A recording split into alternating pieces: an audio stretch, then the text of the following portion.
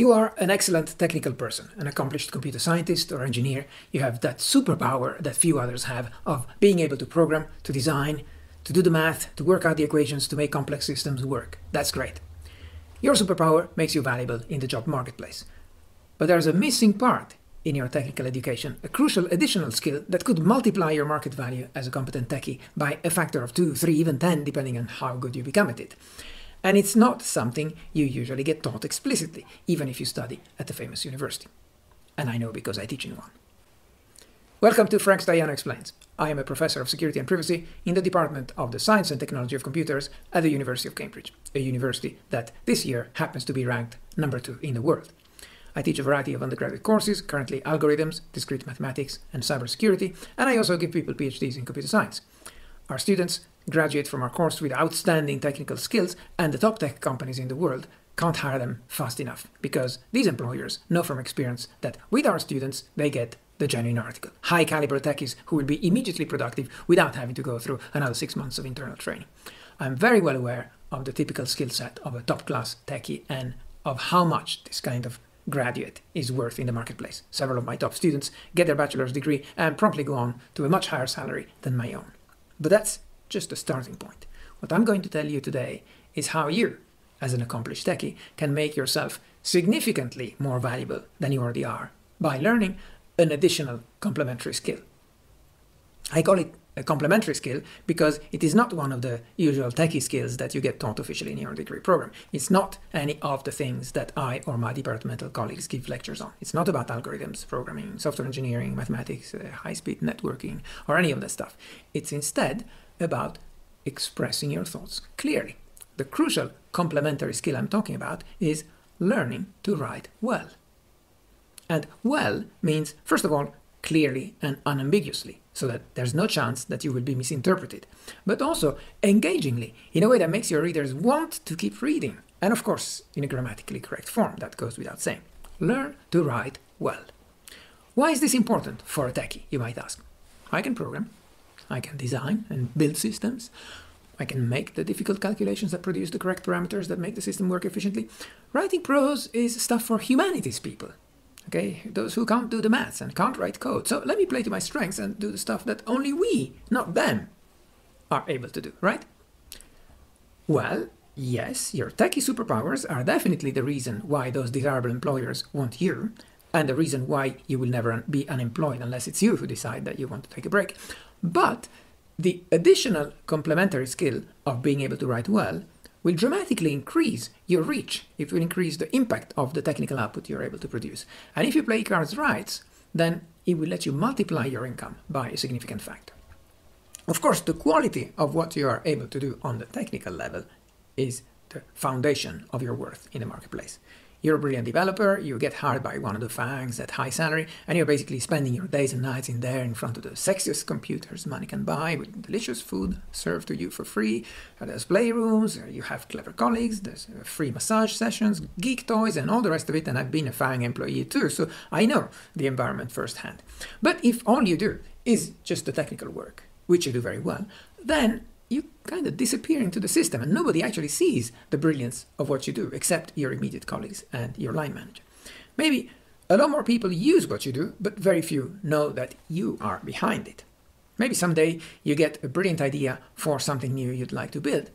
If you're great at writing C++, but you can't express yourself eloquently in English, how can you persuade those above you to buy into your vision and let you do it? You might write the code in your spare time and show them a prototype, and that might get their attention, and they might that you give it a try, but it only works for small scale one person project, not for the grand visionary ideas where you need to convince someone higher up to give you plenty more techies to work on your project with you. Or what if you don't work for a mega corporation, but rather you run your own company?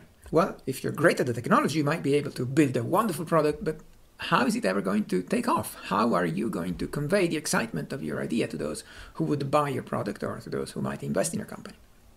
What I've come to realize after several decades in technology, both in industry and in academia, is that being able to write well is a severely underrated secret weapon that many techies mistakenly ignore, but which helps the strongest ones get well ahead of the pack. The fundamental requirement for being successful in your career is that you must give value to others The more value you give others, the more successful you will be. But for this to work, you also need to get recognition for the value you have given and for the further value you have an offer for later. And so communication is also crucially important. Doing is clearly the most important thing and it comes first. But if you can't communicate what you did or what you're capable of doing, it will not be seen, it will not be appreciated, it will not be used, and it might ultimately go to waste, even if it's very good. In the research context, whether you're a research scientist in industry or a tenure track academic who hopes to become a full professor one day, what should get you promoted is the quality of your inventions, of your discoveries, of your theories, of your ideas. It's not how many hours of hard work you put in. You don't get promoted for that. It's how many great things you come up with. You're not judged by input, but by output. And that's great. That's why I like to be in this space. Results based meritocracy. Your worth is the value of what you're offering to the rest of the scientific community. But the currency of that world is essentially citations. Okay, you may have come up with the most brilliant idea, but you will only get the payback for it to the extent that other people notice it, pay attention to it, talk about it, build more stuff on top of it, and ultimately cite the scientific publication in which you describe your fantastic idea and share it with the community. So it's a necessary requirement for your advancement in research that you produce scientific papers. But writing the papers, while necessary, is not sufficient. Even having brilliant ideas and doing brilliant practical work to implement and to validate them, even that is necessary but not sufficient. On top of all that, your papers also need to be read by others and liked by others and shared by others and used by others and cited by others as the foundations that helped those others build new stuff on top of yours and write their own follow up papers. And for your papers to be read widely, they have to be well written, they have to be engaging, they have to communicate clearly and retain the attention of the readers. If you won't learn to write well, you'll have a hard time at this game, and it's unlikely that your papers will gain many citations. Over the years, and I'm not telling this to brag, a few of my scientific papers accumulated over a thousand citations each. That certainly contributed to my own career advancement. There are quite a few colleagues in my department who got to full professor without any of their papers ever reaching a thousand citations, so this metric did make me stand out a bit. Uh, but a paper that is hard to understand and boring to read is somewhat less likely to attract many citations. Uh, the story is similar, even if you're not into research. Okay, as I said earlier, you still need to communicate your idea and your vision effectively to be appreciated and listened to. Another example, you're watching me on YouTube, so you might notice the similarities with this rather different world. Okay, on YouTube, the currency is views, watch time, likes, subscribers, and so forth, which are in some loose sense the equivalent of scientists reading research papers and citing them. Of course, on YouTube, you don't have the peer review process, and basically anyone can publish any piece of junk they like. However, despite the mediation and the bias of the YouTube recommendation algorithm, which decides what gets suggested to viewers, it is still viewers ultimately who vote by deciding what to watch. And the more they choose to watch and like your videos, the more you ultimately get rewarded. And clearly, this is less likely to happen, even for a video that contains a super brilliant idea, if the video is boring to watch, if it doesn't tell an engaging story, if it has poor audio quality, and so forth. So, in basically in every context, the quality of the framing influences the reach of the message. Whether you are still a student or already a professional, whether you are in industry or in academia or even in government, then if you have a talent for technical stuff, please appreciate the fact that being able to write well will multiply the value you can get out of your technical talent. Invest in yourself and learn to write well. If you can only do the tech stuff well, but you can't communicate it to others, at some point in your career, uh, you will reach a kind of plateau, okay? And your progression will be capped. You will always remain the minion of someone who can communicate better than you can. The antagonistic dichotomy between sciences and humanities is sometimes a bit silly, actually. You may be a techie, you may be a very good techie, but it does you no good to focus exclusively on mathematics and computer code and dismiss your humanities side entirely. To be successful and, more importantly, to be happy, we have to be full human beings. We can't let one side of ourselves just uh, atrophy completely. So, even as a scientist, if I want to get other people excited about what I do, then when I give a lecture, when I present at a conference, or when I write a book, I have to give a bit of a performance. I have to become an actor and a storyteller and a writer, besides being a scientist and an engineer. Otherwise, I'll lose my audience, you know, death by PowerPoint. Some techies are monstrously boring, And by the way, some humanities people are too, for that matter. It's not because you're a professor of literature that uh, all of a sudden you're automatically able to write or present well. So, uh, was my point is, don't dismiss writing well as something that only humanities people should care about. Learn how to express yourself in a clear, articulate, and engaging way, and this will make you not only a much more successful and appreciated techie, but also a better person overall. When I say that uh, this uh, writing well is a skill that will make you richer, I don't mean it just in the literal sense of finance, but also in the sense that it will enrich you as a human being. Now, how do you go about learning to write well? It's a creative endeavor, like learning to program well, or to compose moving music or to draw beautiful pictures. And I believe there's really no course that can teach you how to do any of those things. A course can teach you the mechanics, the rules, the necessary tools you need to master before you can express yourself well. And another kind of course might give you some hints on how to stimulate your creativity. But ultimately, I believe that creativity, that spark, is something you have to find inside yourself. And then you have to refine it and polish with practice. Okay, so to learn to write well, I'd suggest starting by reading well written stuff. Look for the stuff you actually like reading, the stuff you find engaging, the stuff you, you just can't put down, the stuff you read even when you should be doing some other stuff. So, for example, I love Frederick Forsyth. He's my favorite thriller writer. I have all his books. Uh, and also, I love Dave Barry, one of my favorite humor writers. And I enjoy plenty more writers that it would be pointless to start listing here, but who are your favorite authors? What makes their writing engaging for you? What hooks you in and keeps you turning the pages? And it can be a technical book or a novel or anything really, but just read. Be an active reader. Appreciate how your favorite authors construct their sentences, how they make words flow into each other, and uh, how they intersperse images and flashbacks, how they build tension to make you want to get to the end of the chapter, how they construct an engaging story, how they make you laugh, and so on and so forth. Absorb all of this and try to redo it yourself in some small sense, at a small scale, just as an exercise. You're not trying to become a novelist or become a humor writer. You're just trying to flex your writing muscles, like just going to a mental version of a gym. It will take work, but you won't get anywhere without hard work and lots of practice, as with anything. So just do it. Write. And try very hard to get other people to comment on what you write. Get them to tell you what was clear or unclear, what was hard to follow, why it was hard to follow, what was ambiguous, what was boring, what got them lost along the way, and so forth. Eat your pride, request criticism, accept criticism as a precious present. Learn from criticism and act on it.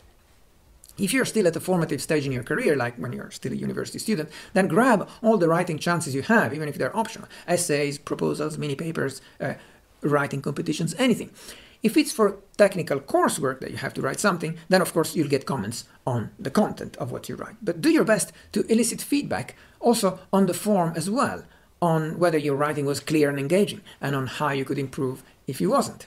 Sometimes the person who's giving you feedback, who might be your teacher or might be your peer, might tell you that, you know, that content honestly just wasn't that engaging. But they might not necessarily have much of a clue on what you might do to make it better. And accept that. Even such disappointing and unactionable feedback is useful if you have the humility to take it for what it's worth, namely pointing out that there are areas that you might improve on, even if they couldn't tell you how. Uh, up to you to figure it out. Remember that in this context, you're not writing poetry, where ambiguity is often valuable and purposeful because it makes readers think and search and it lets reader you know put their own interpretation on your ideas and images and suggestions uh, which uh, the poet really means as um, just triggers or inspiration for the reader now it, that's not what we're doing uh, what you want to be doing when we're talking of writing well in a stem subject uh, we explicitly aim for clarity and lack of ambiguity. Your prose must be the channel through which your brilliant ideas flow easily and without distortion from your mind to the mind of your reader, who then gets that satisfying light bulb about something they didn't know or didn't understand before, and now they do, thanks to you. And that's the value you are offering to the other person. And you must make the utmost effort to ensure not only that it is possible for your idea to go through this channel, but rather and much more demandingly, that it is almost impossible for your idea not to go through, or to arrive in some distorted fashion. Marcus Fabius Quintilianus was a, a writer, rhetorician, and educator in ancient Rome, 1st century AD, and what he had to say on this matter is just as relevant today as it was 2000 years ago. In his Institutio Oratoria, he advised We should not speak so that it is possible for the audience to understand us, but so that it is impossible for them to misunderstand us. And I'll give you a trivial example. My university department here at Cambridge, uh, where the first store program computer in the world uh, was built, the EDSAC, by my academic ancestor, Sir Maurice Wilkes, used to be called the computer laboratory. But now, in the 21st century, most outside people would misunderstand this name as a kind of, you know, computer support facility, perhaps a place where technicians would fix your laptop if it broke. And that was not the mental image that we wanted to convey. Most other universities call our kind of place, you know, the Department of Computer Science. But we didn't like that name either because it seemed to put the emphasis just on the theoretical and mathematically oriented parts of computing. And while we do quite a bit of that as well, we are proud of our strong tradition as system builders, you know, from processors to hypervisors to operating system software to high performance networks. So we ended up with Department of Computer Science and Technology. Now, unfortunately, this is also prone to misinterpretation. It is just a noun phrase. It doesn't even have a verb, but it already suffers from a parsing ambiguity. Most people will parse it incorrectly as Department of Computer Science and Technology. So this is a department that studies two things. It studies computer science and it studies technology. Wrong. That's not what we meant. What we actually meant was this is a department of, of two things, you got that right, but the two things are computer science and computer technology. So you should not put brackets around computer science. You should put brackets around science and technology, and then the word computer that's in front should distribute over both of them. Now, of course, I objected to the proposed name at the time uh, on the basis of this ambiguity, but you know how these things go on, and uh, all the clear alternatives were much too long to use in practice for a name that was already a bit too long to begin with, so we're now stuck with what we have Department of Computer Science and Technology. But when I say it, I have to put the brackets vocally Department of Computer Science and Technology. Uh, or sometimes I rearrange the words and I say Department of the Science and the Technology of Computers. Because as a disciple of Quintilian, I, it annoys me profoundly to send out a message that could, and in fact probably would, be misunderstood. I have plenty more examples of ambiguous writing from prose written by my students, and I do my best to teach them to recognize parsing ambiguities and to learn to eliminate them when I supervise their dissertation writing, for example, or for graduate students when we co-author a paper together. And I also have plenty of examples of lower level problems that honestly people should have uh, learned to avoid in primary school. English is only my third language, and yet I have to correct adult native English speakers who write it with apostrophe, meaning it is, when they instead intended it's without apostrophe, meaning the item belonging to that thing. And they should have learned to try that substitution in their head when they were eight years old. Leaving this kind of primary school grammatical mistake in one's prose conveys the same aura of disrespectful carelessness as turning up to an important meeting with smelly armpits. Just don't do that. This is how to make you look ignorant and how to make your excellent technical output be worth a lot less, not a lot more. Conversely, being able to convey your technical content in an understandable and engaging way will definitely get you recognition, sometimes profit. Some time ago, my company, Cambridge Cyber, did some work for a government client, at the end of which I had to write a technical report for them as the final deliverable. And this is the testimonial we received from them afterwards. Cambridge Cyber was a pleasure to work with and deliver high quality, meaningful work, blah, blah, blah. All very nice. Thank you very much. And go to the end. We are especially grateful for a final report that even made us laugh out loud. You don't hear that every day. So in this case, writing engagingly and with a, even a touch of humor made sure our important cybersecurity technical messages got across. It ensured that our report, instead of just you know being filed and forgotten, was shared internally by our client and passed on to the higher levels in their organization, and even got us repeat business from them the following year. So understand this. Being able to write well is just as important to your success as a techie as being able to do the difficult technical stuff that most regular people cannot do. You are among the few who can do the hardcore techie stuff. Great. However, if you are so geeky that you can only do that, but you cannot explain it to your grandmother in a clear, articulate, and engaging way, then you'll never get the full credit you deserve for it whether you're talking about your undergraduate dissertation, your corporate proposal to your boss, your professional report to your client, or your entrepreneurial pitch to your investors.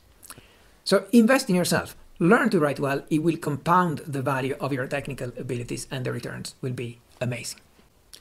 Here's a video I did a while ago on how to write a good undergraduate dissertation. Even if you're not a university student, if you listen with an open mind, it contains plenty of hints that will be useful to you when writing other stuff as well. I hope you get something out of it. If you want to bring a smile to my face, hit the like button and say licorice root in your comment to let me know that you made it to the end and you enjoyed this video. Many thanks for watching and see you in the next one.